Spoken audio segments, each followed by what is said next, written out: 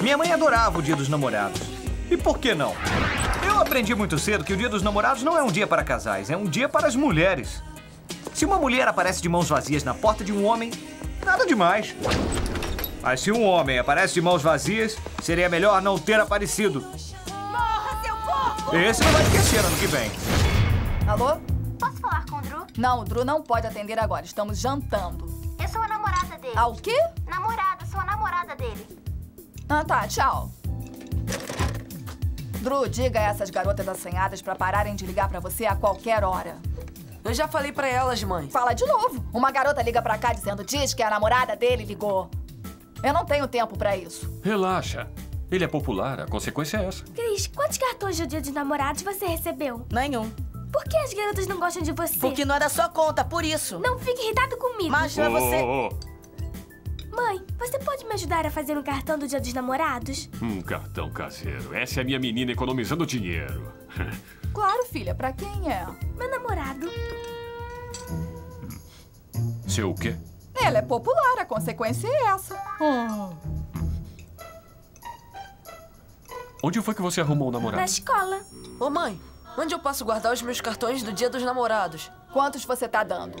Eu, eu não estou dando. São as meninas que ficam mandando pra mim. Meu garoto. As garotas deviam dar cartões do dia dos namorados pros garotos? Bom, estão dando pra ele. E o que isso tem a ver comigo? Há quanto tempo tem um namorado? Há uma semana.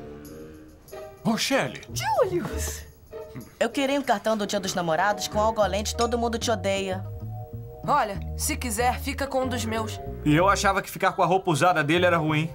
Não, obrigado. Quem deu o cartão que diz eu te odeio? Ah, eu não sei. Foi só uma piada idiota. Embora eu não gostasse do Caruso, eu não achava que ele merecia ser xingado pela minha mãe.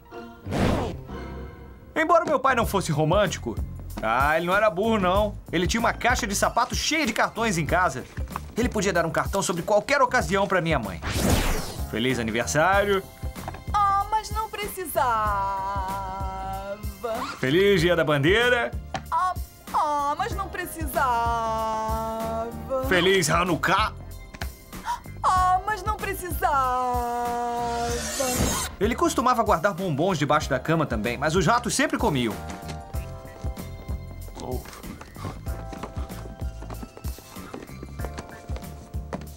Oi, amor. Oi, querido. Isto é pra você. Ah, mas ainda nem é dia dos namorados, amor. Eu sei, mas todo dia você é especial. Ah, Julius, não precisava, amor. Desde que você... Tá vendo só, Rochelle? É por ver essas coisas que a Tônia anda por aí falando pras pessoas que tem um namorado. Mas...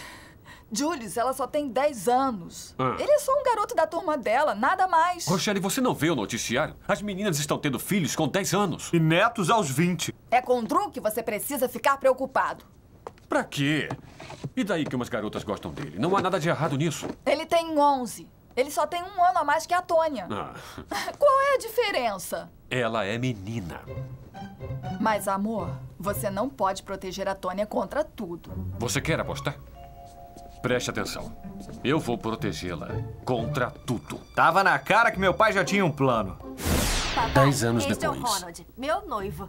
Muito prazer, senhor. Mamãe, o papai atirou de novo no meu noivo!